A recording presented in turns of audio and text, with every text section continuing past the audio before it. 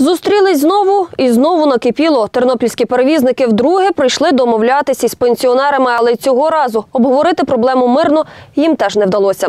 Нагадаємо, возити безкоштовно у маршрутках тих, хто вже на заслуженому відпочинку більше не хочуть. Пенсіонери ж таке нововведення приймати відмовляються.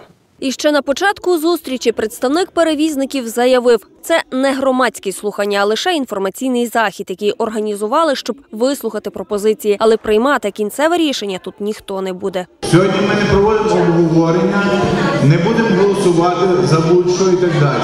Ми проводимо інформативний захід для того, щоб пільговики зрозуміли наші проблеми, висловили свої побажання.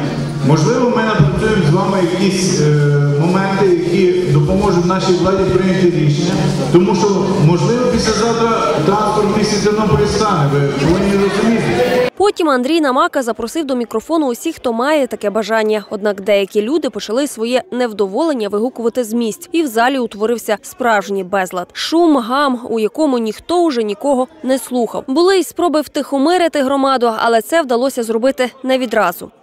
Приватно, почекайте, ви кричати вмієте, ви вислухайте, будь ласка.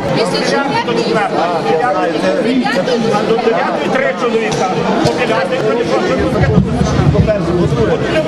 Шановні добродії, прошу вас, Я би хотів вийти сказати. Тому що їм важко. А тепер шановні добродії, шановні добродії, Бачимо, почитайте. Перед тим як кричати, почитайте, будь ласка.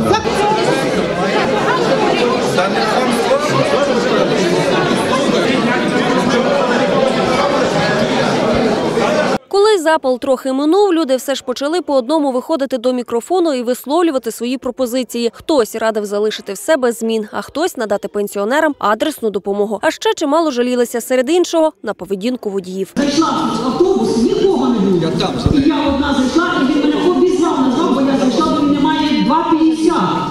Коли та людина, що платить, він її бачить за кілометр, а та, що не платить, він очима закриє двері. Питання не стоїть пенсіонерах. Якщо перевізники не мають коштів, це їхній бізнес. Значить, міська рада має вирішити питання, допомогти. Процесі обговорення люди нерідко сперечались між собою. Спокій у залі запанував лише на кілька хвилин, коли прийшов міський голова і сказав пенсіонерам те, що вони хотіли почути. Є 10 різних пропозицій, є різні думки. Ми хочемо почути ще вашу думку, а після цього буде виконком приймати те чи інше рішення. Чи збільшувати якийсь тариф, чи зменшити якусь кількість автобусів. Що робити з пільговиками? Моя особиста позиція, я цього не відступлюся, по кількості пільговиків ми зменшувати не будемо. Ми будемо шукати якусь іншу форму, як перевізникам це компенсувати, чимось звернути іншим, але не зменшити кількість пільговиків. Оце Потім люди іще посперечались із перевізниками та один з одним і почали потрохи розходитися.